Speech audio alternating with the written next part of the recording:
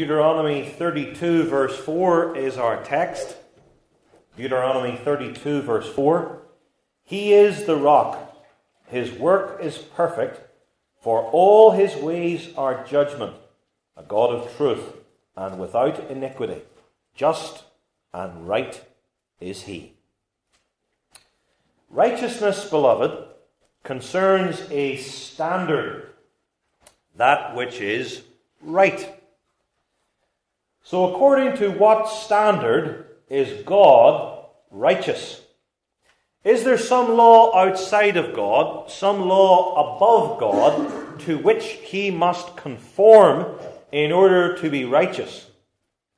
The answer is no. Jehovah is his own standard. That's part of his absolute self sufficiency. God's righteousness, therefore, is his unswerving commitment to himself as his own standard. This is the key. There is no other standard or law according to which God can be examined or tried or accused or condemned. It's not United Nations law or national law that is the standard to which Jehovah must measure up. It's not political correctness or public opinion. It's not the views of the false church or the ungodly world. God's only and own standard for his own righteousness is himself and his own will. God's righteousness is his perfect harmony and conformity to himself as his sole standard and complete criterion. As John Calvin repeatedly puts it, God always acts like himself. In, his, in all his will, in all his being, in all his thinking, in all his doing, he acts in perfect conformity with himself as absolute and supreme, answerable to nobody and nothing. And this is wonderful. This is the sovereign freedom of God. And God's righteousness, being His righteousness, is infinite, eternal, unchangeable, and omnipotent righteousness. It always prevails. It's, this righteousness of God is good and wise, holy and true. And so God's righteousness infinitely transcends and judges all that calls itself righteousness in our fallen world and amongst all individuals, all groups, and all states. He's not the one who must who can ever be brought to the bar. Everybody else and everything everything else is brought to his bar to be judged because he is the righteous one. God's righteousness is evident, for instance, in the relationship between the first and second persons of the Holy Trinity. Remember, righteousness involves a standard. Well, the Father is the standard for the Son. And the Son is the express image of his Father. The Son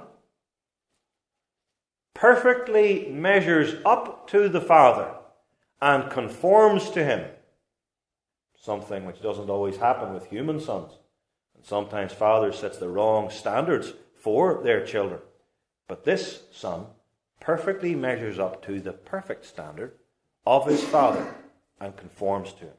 He is the glorious Word of God who is unswervingly committed to his Father. That's his righteousness. A word here about English words. On the one hand, we have righteousness and related words like righteous, upright, righteously, right, and all the rest. And they come from the German word recht. Recht, German, right, English. On the other hand, we have the word justice, from which we have just, justly, judgment, and so on. And those words come from the Latin justitia. But both words, whether taken from the German and righteousness, or the Latin and justice, are essentially the same. There are different shades of meaning with them. The justice words more usually apply to formal legal settings and groups. We think more often of righteousness connected with individuals, but essentially they're the same. Justice words, righteousness words, because they're legal words. They deal with ethical laws. They are concerned with moral standards. And now, with this foundation, we turn to God's righteousness. Part 1. God's righteousness, first in legislating, that is, in laying down the law, and second in punishing, that is, in judging those who break the law which God has laid down. God's righteousness in legislating, and God's righteousness in punishing. Now, it is customary and helpful to speak of God's moral law for mankind. And in this sermon, we're not so much thinking about angels, though we'll touch upon them at times. It's helpful to think of God's moral law for mankind, which is summed up in the Ten Commandments. Now, because of who God is as the uncreated, eternal, and glorious and supreme Lord, his moral law for mankind must, first of all, address man's duty to God. And so you think of the first commandment Have no other gods before me. Why? Because God's righteousness is his being unswervingly committed to himself as the only true God, and therefore he comes to man and says, Since this is the case, your righteousness includes centrally your being devoted to me. Moving to the second commandment, well, God is spirit, and therefore man cannot make any images of him. And therefore it's perfectly righteous for God to forbid all making of images by mankind and worshipping and serving of them. Coming to the third commandment God is true, his name is weighty. Therefore, man's righteousness is not treating God's name as if it were vanity and nothing.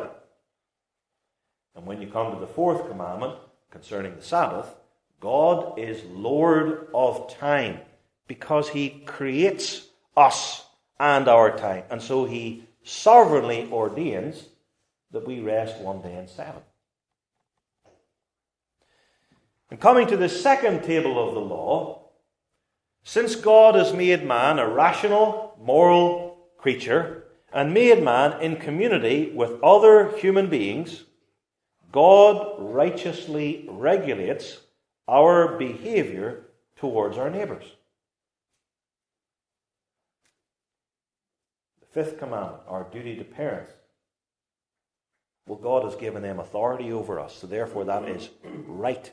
The sovereign God, righteous in himself, gives, delegates authority to parents. Therefore, children must honor and obey their parents. The sixth commandment, the righteous God who is the source of life, the sovereign over it, says to man, You cannot take human life except in the certain specifically determined situations where I authorize individuals to take the life of other individuals, self defense, or I give authority to the state to wage war and to execute capital offenders. When you come to the seventh commandment, righteousness here is very easy to see too, because God has made man and women and given them this exclusive bond between one man and one woman for life, and therefore thou shalt not commit adultery. No sexual liaisons or sexually emotional ties before or outside of marriage to that one person God gives you.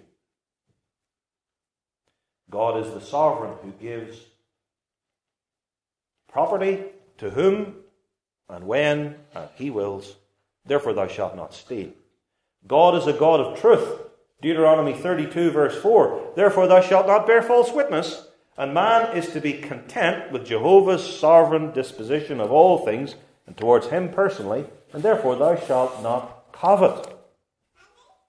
God's his own standard, and God sets the standards for mankind in accordance with who God is and the world that man is placed in by God.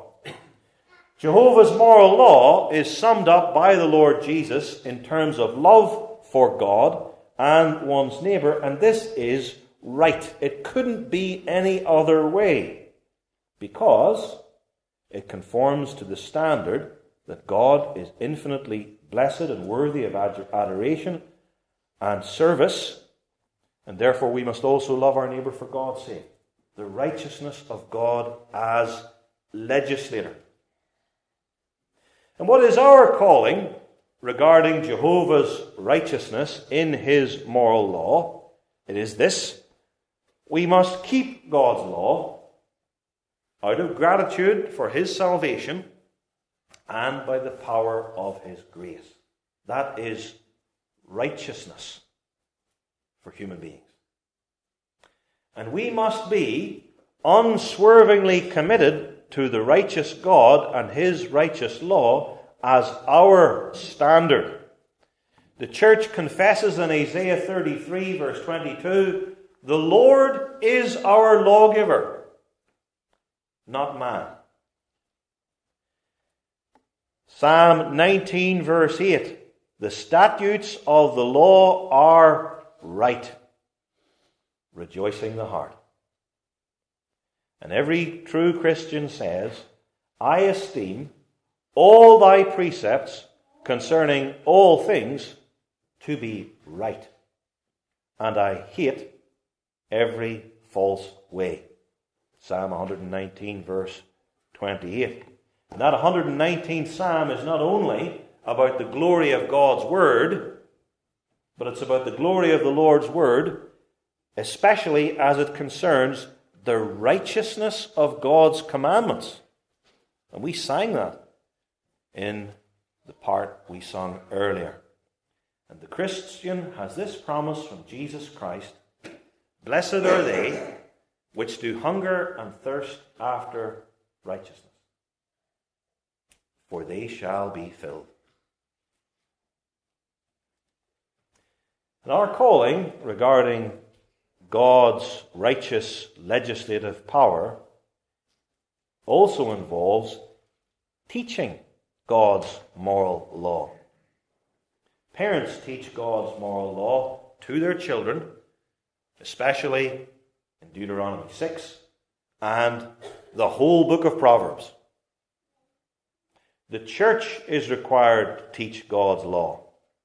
Teaches God's law to the ungodly that they may see their sins and trust in Jesus Christ, and it teaches God's law to the saints as the rule of gratitude for our rich salvation in Jesus Christ. We see that near the end of our Heidelberg Catechism in many Lord's days. Scripture also includes what may be called divine positive laws. And what are divine positive laws, you are asking? Well, these laws like God's moral laws summed in the Ten Commandments, they're laws given by God, they're divine positive laws, and they're recorded in Scripture. But unlike the moral laws summed in the Ten Commandments, God's positive laws forbid or require something not because of the nature of the things in themselves, but merely because God says so. So God's positive laws rest upon His sovereignty. X is forbidden or required because God says so. It's a good lesson to teach our children at times. You must do this. Not even, and I'm willing to explain why in many, many regards, but you also need to learn to do this because I said so. God does that. Sovereign, positive laws. And yet, these sovereign, positive laws of God are not without their wisdom. And so, God's positive laws are temporary. They last only for part of this age, and then they pass away when their purpose is fulfilled. And I will give you some concrete examples with which you're well familiar, which will make these divine positive laws very clear. Think of the tree of the knowledge of good and evil. There is nothing of itself wrong with eating from a tree. There is nothing of itself morally sinful with eating from a particular type of tree. It was only the bare sovereign word of God that meant that it was wrong for Adam and Eve and sinful to eat of the tree of the knowledge of good and evil. Had God chosen, he could have decided that not that tree over there, the tree of the knowledge of good and evil, but that tree over there was the one that was forbidden, Adam and Eve. And so we have here an example of a divine positive law. God is sovereign in saying one tree you're not allowed to eat from.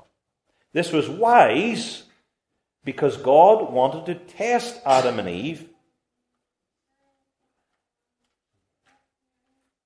to see if they would obey him just because he says so. And it was temporary because there's no tree of the knowledge of good and evil as such that we can eat of today. And this tree was buried at the flood and has doubtless rotted away. Maybe it's now fossil fuels. Here's another example of divine positive law. The whole of the Old Testament Jewish ceremonial laws I'll take one particular instance of these laws the Old Testament ceremonial food laws. Pork, rabbit, lobster were forbidden the Jews in the Old Testament days. Not because there's anything intrinsically sinful about these foods, but because God, for a time, wanted to keep the Jews separate from the Gentiles. And he thought this would be one good way, amongst others, of doing this. Sovereignly, he said, this food, but not that food. Wisely, because he purposed to preserve the antithesis to some degree between Jews and Gentiles. Temporary, because now God's people are not to be divided over food laws, but united in Jesus Christ who has smashed down the middle wall of partition, the Old Testament laws, which were designed to keep Jews and Gentiles apart. And we're looking at these Old Testament food laws on Tuesday mornings. There is also an element of divine positive law in the Ten Commandments. Ten Commandments are moral laws, but within them there's an element of divine positive law. Which commandment? The fourth. Which aspect of the fourth commandment? Will the particular day. God could have declared the fifth day of the week to be the day of rest, or the third, or he could have chosen two days in the week, or he could have chosen one and a half days in the week, or three quarters of a day. You get the point. But in the Old Testament, he chose the last day of the week sovereignly, And the wisdom aspect is that this was the day in which God rested from his creating. And this is temporary because the seventh day requirement has now passed away, because there's a greater wisdom attaching to the day now in the New Testament era being the first day of the week, because that's the day in which Jesus Christ rose from the dead. And redemption is a greater work than creation. And the Holy Spirit has been poured out in the gathering for the gathering of the Catholic or universal church of Jesus Christ. He is the rock. His work is perfect, for all his ways are judgment. A God of truth and without iniquity. Just and right is he. There are perhaps especially two areas where human positive law is laid down. One is in the military. Commands are given, especially to new recruits, which have little or no ground in the nature of the things themselves, and the point is to train the young soldiers in unquestioning obedience. We're teaching you discipline. You just do it because the sergeant tells you to do it. We're teaching you group cohesion. And also, in battle, there may come a time when a particularly unpleasant command is given you, and we don't want you to think about it. You just climb over the top and run with fixed bayonet. Okay? The second instance of human positive commands even more familiar to us all, involves parents and their children, especially smaller children. You forbid them to do certain things. Not because the things per se are wrong, but because they're children and they don't understand things. And if you allow them to do these things, then they can very easily find themselves in the midst of something harmful. So you say to your child, don't go near that pier or you might fall in. No more biscuits for you, or you'll not be able to eat your dinner.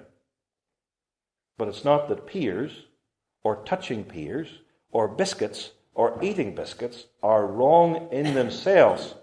The principles behind this are the sixth commandment we want to preserve life, so watch yourself around the pier.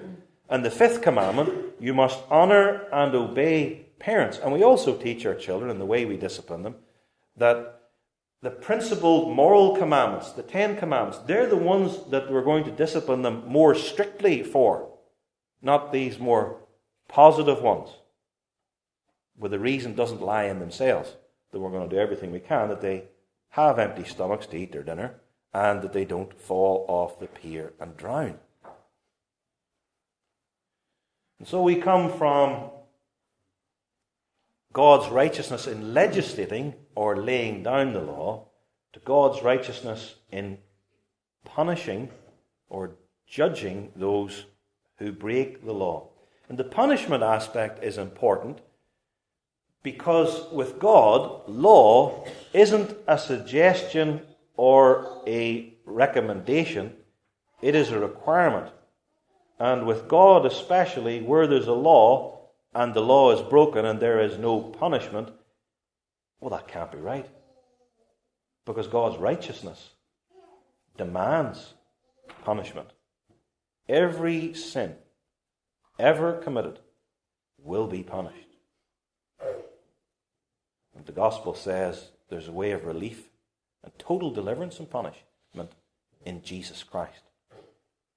So we move from legislative justice or legislative righteousness to punitive or punishing justice or righteousness. Let's think of Adam's fall. Let's go back to the tree of the knowledge of good and evil. God told Adam, Of the tree of the knowledge of good and evil, thou shalt not eat of it.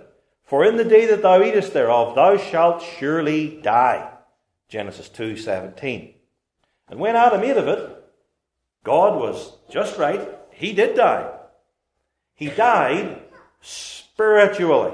He became dead in trespasses and sins, which was exactly what God meant and intended in that threat. Adam died spiritually, and Adam died immediately, in the very day he ate of it, at that precise instant. This is important to say because Abraham Kuyper, and he's followed here by many to their own loss, Abraham Kuyper, trying to find some sort of biblical basis for his whole theology and theory of common grace, disagrees with the historic Christian explanation of the fall of Adam. God's judicial threat, in the day that thou eatest thereof, thou shalt surely die, says Kuyper, includes physical death at the very moment of eating. That is, God promised to kill Adam there and then so that he would strike him down dead under the tree of the knowledge of good and evil with a partially eaten fruit in his hand. One wonders how Eve could have come to him and tempted Adam if she had already died instantly, physically. But, says Kuyper, God gave Adam common grace, like an antidote to poison, so that Adam did not keel over and die beneath the branches of the tree of the knowledge of good and evil. This novel misunderstanding of Genesis 2 and 3 misunderstands the nature of God's judicial threat as if it included physical death there and then. And of course, it raises all sorts of problems regarding God's righteousness. The truth is, and God's requ- righteousness requires this, that God did exactly what he said he would do, unlike Abraham Kuyper's theory. God, at the tree of the knowledge of good and evil, is not like a parent who makes an unwise threat of punishment, and then the child does the thing he was forbidden to do, whereupon the parent realizes that, hey, if I punish this child here, this is not a good idea. I specified a wrong form of punishment. And now I'm going to have to eat my words and not do it and run the risk of my child thinking that mummy and daddy don't really mean what they say and I can get away with this. And you know what? I can get away with that. And even though they rant and rage and say X, Y, and Z, they never do anything or they never do what they say they're going to do. And that is, mummy and dad aren't just, don't keep their word, and actually tell lies to me.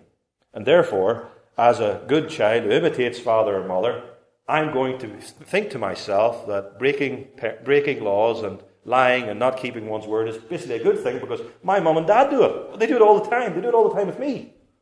Yikes.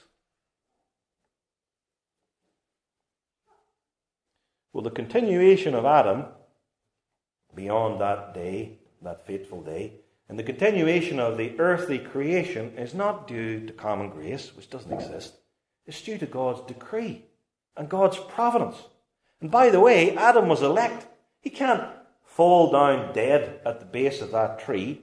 He needed some time, actually, not a whole lot of time, but he needed some time in order to live for God to come and show him his sin and point him to the mother promise of Genesis 3, verse 15, the seed of the woman who's going to crush Satan's head.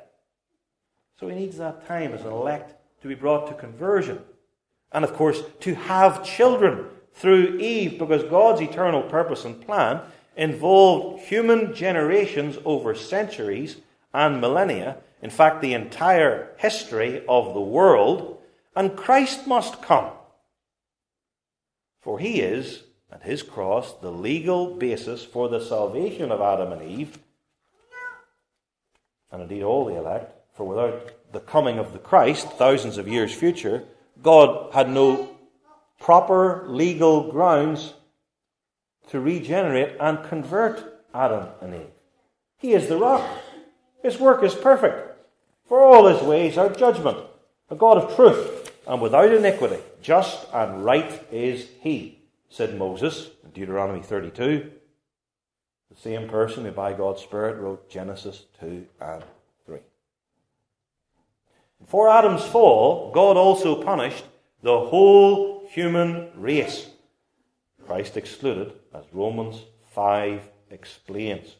And here there are especially two divine attributes on display. God, in his sovereignty, makes Adam the federal head or covenant representative for the entire human race.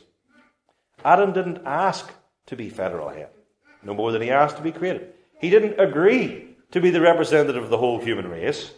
And we, for our part, didn't opt in or opt out. We couldn't, for we didn't even exist. God sovereignly appointed him as the head. And then God's righteousness, the second attribute, so to speak, comes in in the form of punishing sin, both in Adam, so that he died with total depravity on that day, and in us.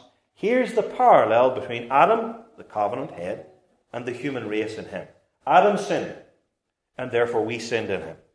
Adam is guilty for his sin. We are guilty for our sin in Adam. God punished Adam with total depravity. God punished the human race with total depravity at our conception and onwards.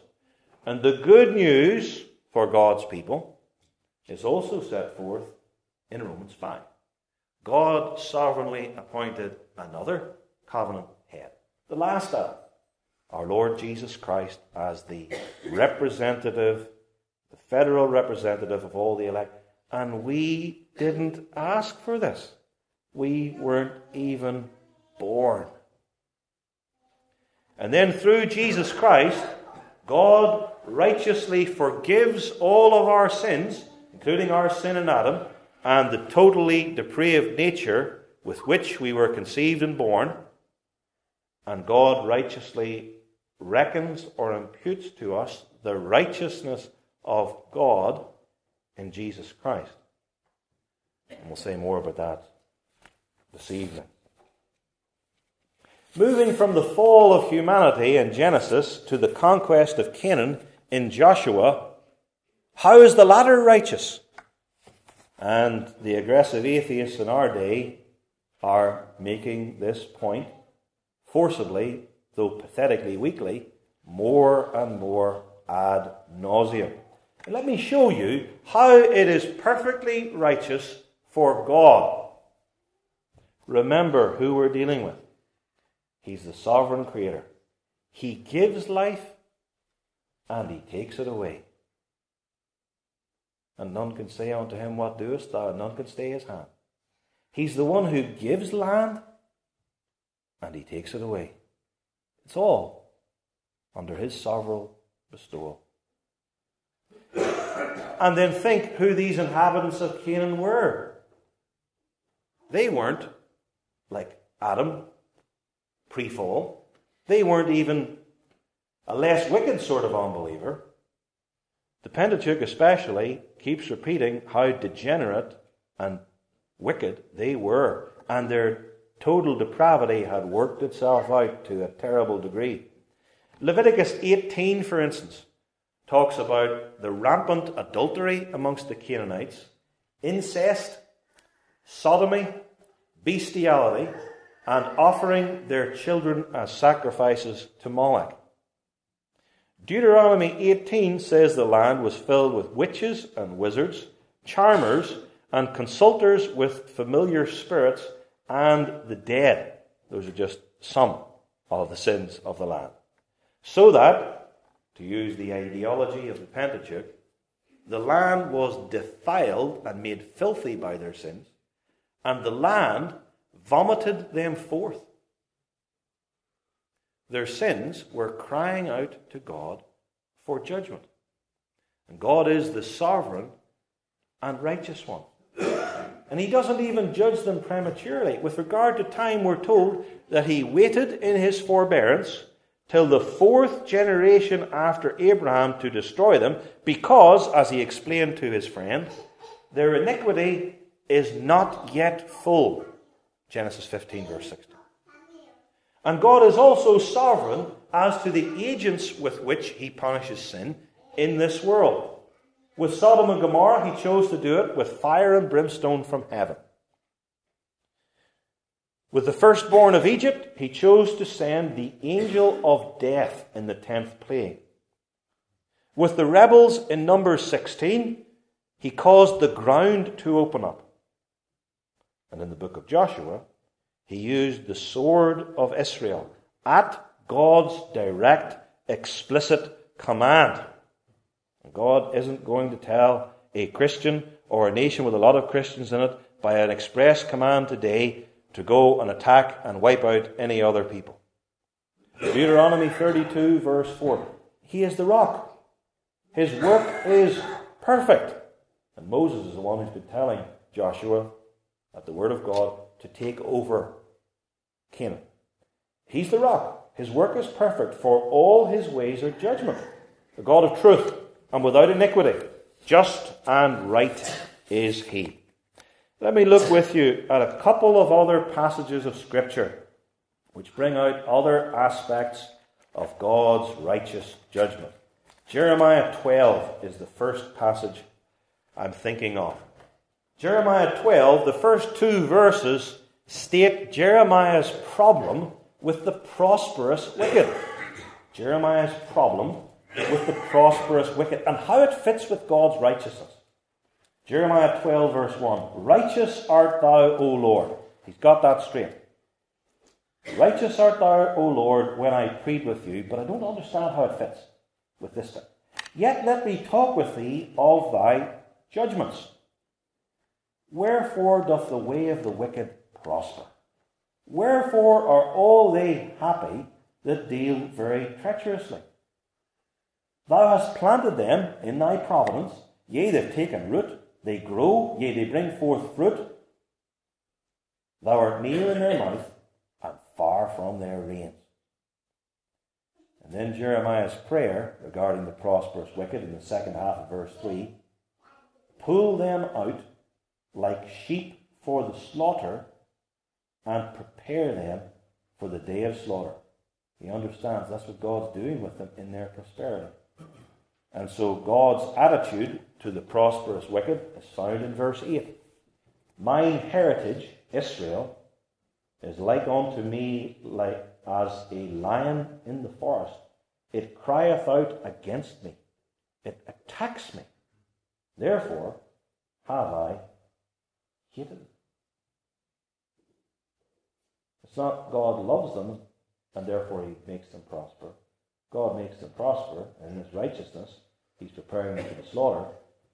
And he hates them for their sin. Our God is a rock. His work is perfect. For all his ways are judgment, all of them judgment. A God of truth and without iniquity, just and right is he. And the second and final passage, Luke 13. Luke 13. I'm going to read the first five verses of Luke 13. The righteousness of God crops up because of calamities that have taken place. Luke 13, verses 1 through 5. There were present at that season some that told him of the Galileans, whose blood Pilate had mingled with their sacrifices. And Jesus answering said unto them, because they didn't understand the righteousness of God, Suppose ye that these Galileans were sinners above all the Galileans, because they suffered such things? I tell you, nay. But except ye repent, ye shall all likewise perish. Or those eighteen, upon whom the tower in Siloam fell and slew them. Think ye that they were sinners above all men that dwelt in Jerusalem? I tell you, nay. But except ye repent, ye shall all likewise perish. And in this passage, we have reference to two horrible forms of death. Wicked Herod came and slaughtered some Pharisees and mixed their blood with the blood of the animals they were sacrificing. And a tower in Jerusalem, the Tower of Siloam, fell and killed 18 people. Now, obviously, in these disasters and calamities, some of the people killed may have been old men or old women, or middle aged, or young, maybe children. Here's the point regarding God's righteous punishment of the impenitent wicked God's righteousness with regard to punishment, his punitive righteousness, requires that he punish them. It requires that God punishes them in accordance with their sins, so that those who are worst get worse punishment than those who are not as bad. But God's punishment of the impenitent wicked does not require that God punishes all people in the same way in this life.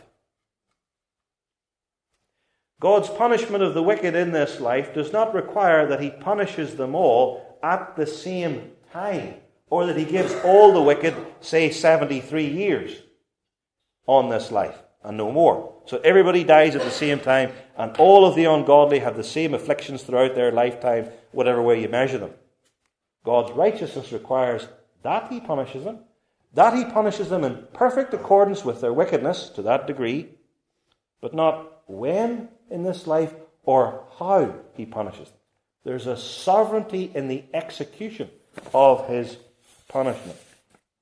And so Jehovah righteously punishes all the sins of all the reprobates, but he sovereignly determines when he punishes them in this life and how he punishes them in this life, or how especially he punishes them. And by the way, the main form of punishment of the ungodly in this world is not making a building fall upon them. The main form of punishment of God upon the wicked in this life is giving them over in his wrath to greater sins and bondage in their sins. And by the way, 99% and more of the punishment of the impenitent ungodly awaits the everlasting burnings of hell. It's only a tiny, tiny, tiny proportion that's ever inflicted upon any of them in this life. And we add too that the elect, children of God, are not immune from being struck by calamitous terrors either. Maybe some of these Galileans, or maybe some of the 18 upon whom the Tower of Siloam fell, were actually believers. Earthquakes and horrific car accidents and terrorist attacks don't bypass the people of God. But when these things happen to the wicked, to the righteous, or even if they die peacefully in their sleep, it comes to them in God's love, and it is for them not a punishment, but a passageway into glory. Our God is the rock. His work is perfect. For all his ways are judgment, a God of truth and without iniquity, just and right is he. Which brings us finally, in this sermon, to the final judgment. Here we are focusing not on the vindication and rewarding of the righteousness of the righteous in Christ, but on the punishment of ungodly, impenitent men and women, as well as Satan and his demons. That day will be far and away the greatest public court ever.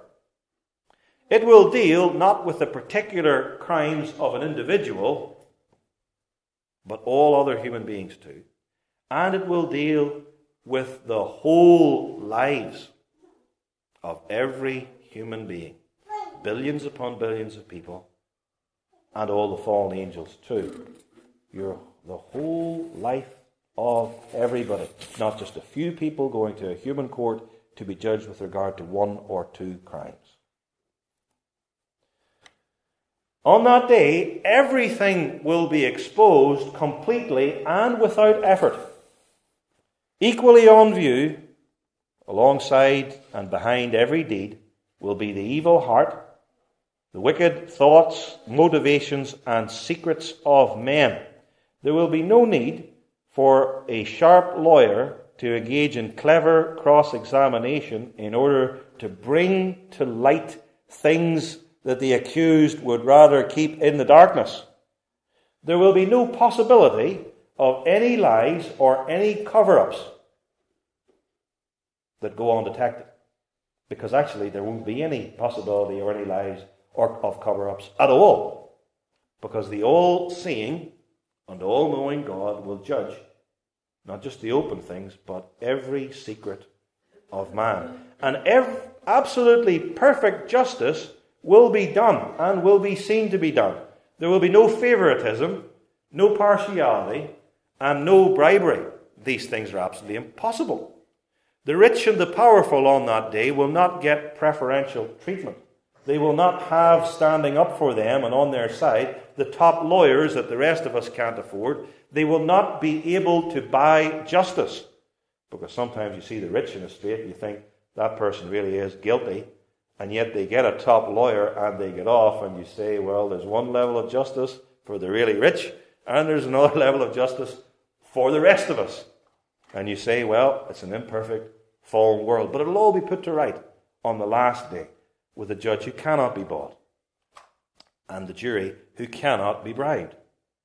We're dealing here with the perfect righteousness of the one great judge. Father Abraham rightly said, Shall not the judge of all the earth do right? God is going to judge the world by that man whom he has ordained and perfectly qualified and fitted for the task, the Lord Jesus Christ, who will judge the world in righteousness. The standard being the being and character of God as expressed in His law, not merely the laws and statutes of the state that can be changed and abridged and dumped. The punishment for all the billions of sins of all of the wicked will be everlasting hell, with degrees of punishment, so that those who gave fullest vent to their wickedness and expressed it more fully than the other totally depraved people will be punished worse. This is the great theodicy, the vindication of God's absolute righteousness. And on that day, everyone will say, in effect, He is the rock on the judgment day. His work is perfect. For all his ways are judgment. God of truth and without iniquity. Just and right is he. Everything he did in the Old Testament and in the New Testament, everything in the church, everything in the world, everything that involves the law, everything that involves the gospel, all the history of the world, in every country and with every person, plainly manifested before the whole world and universally admitted. Because every knee shall bow and every tongue confess that Jesus Christ is the righteous Lord. And it's his cross that is the only hope of those who know themselves to be listed with those who are currently in unbelief and have that before them outside of repentance must turn to Him. Trust in Jesus Christ as the only Savior. And then you pass from death to life in the righteousness of God. And we'll look at it more fully, especially that salvation aspect, tonight. Amen. Our Father in heaven, May we understand and tremble before thy righteousness and judgment and wrath and jealousy as the one who lays down and enforces and punishes according to thy law. Teach us the fear of thy name in Jesus Christ, and may we afresh flee to him for mercy and pardon. Amen.